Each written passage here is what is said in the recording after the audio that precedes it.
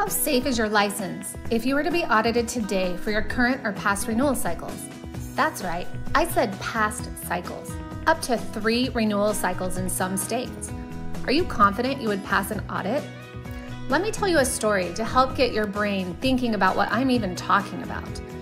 We will call him Dr. Confident, who takes CEs all the time. He completes more than double his requirements each year.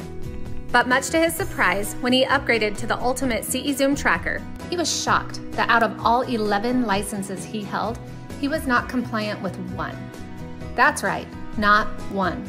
And to top it off, three of them renewed within the next two months.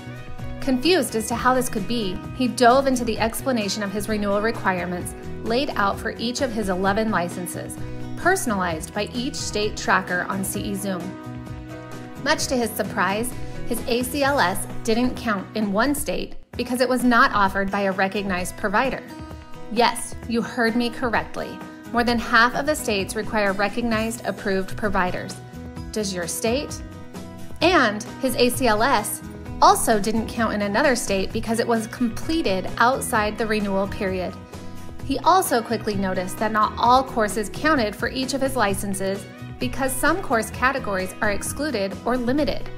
There are many other advanced tracking features CE Zoom made him aware of, such as minimum and maximum requirements, educational method, required but not counting for CE, and others. So don't be caught off guard like Dr. Confident, assuming you are compliant to only find out too late you are not, costing you penalty fees, unneeded stress, time off without pay, or even potentially loss of your job or livelihood.